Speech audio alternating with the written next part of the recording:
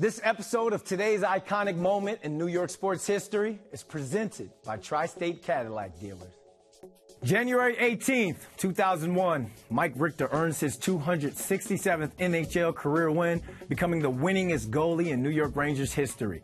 Richter was selected 28th overall by the Rangers in the 1985 NHL draft, and during his rookie season, he served as the team's backup goaltender.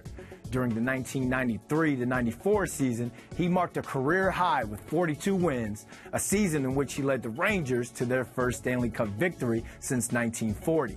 During that playoff run, he posted four shutouts and a record of 16 and 7. On January 18, 2001, the Rangers hosted the Toronto Maple Leafs at the Garden.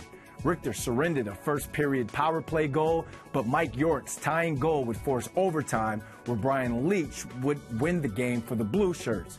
That marked Richter's 267th NHL victory, surpassing Ed Giacomin for most wins by a Rangers goalie.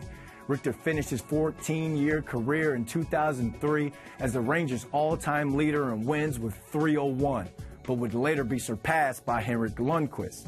Now, his career goals against average is 2.89 and save percentage is 904, and his number 35 jersey was retired by the Rangers in 2004.